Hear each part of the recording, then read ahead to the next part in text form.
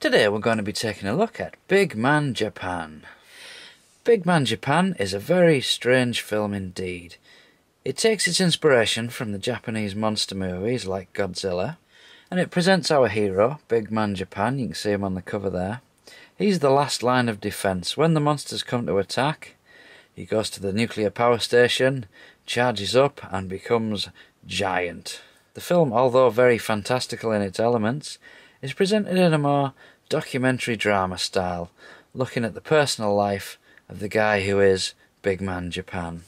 A giant monster movie with a comedic delivery on par with Monty Python. You have to see this film. Big Man Japan, the hilarious action comedy about a middle aged nobody with remarkable powers, has already been hailed as an instant cult masterpiece by DreadCentral.com and as tears down the face funny by Variety magazine.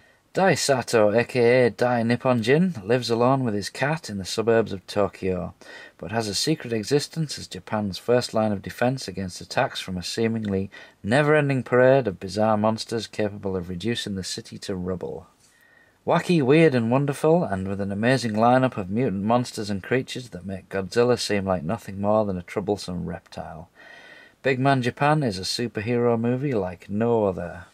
Big Man Japan was made in 2007.